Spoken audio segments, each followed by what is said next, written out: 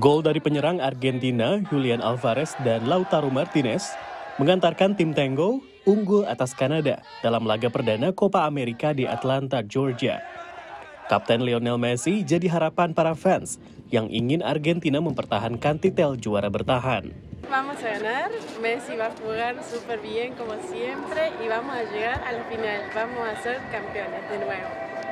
Copa America diselenggarakan oleh CONMEBOL, Konfederasi Sepak Bola Amerika Selatan.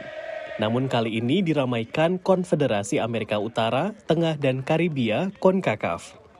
Tahun ini 10 skuad datang dari CONMEBOL, ditambah 6 skuad tamu dari CONCACAF. Copa Amerika 2024 diadakan di 10 negara bagian di Amerika Serikat, dengan pertandingan perdana di kota Atlanta, Georgia, dan final dijadwalkan di Miami, Florida pada 14 Juli. Para fans datang dari berbagai negara dan memenuhi hotel-hotel di kota penyelenggara. Timnas Brazil yang jadi jawara 9 kali ingin merebut kembali titel tersebut. Endrick, 17 tahun, adalah pemain termuda tim Samba yang dijuluki anak ajaib. Ah, fico muito feliz, né?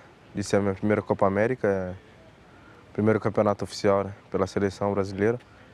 E vamos tentar conquistar, conquistar esse título e treinar bastante.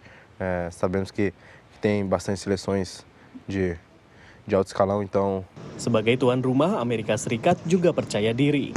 a lot of really strong moments uh, looking back in recent years. I mean, the World Cup, you know, some really good performances and also some disappointments where we want to go further. So I think this team has really come into its own. Popularitas sepak bola terus naik di AS, terutama setelah timnas perempuan Amerika menyabet gelar Piala Dunia pada 2019 dan bergabungnya Messi di klub Amerika Inter Miami pada 2023.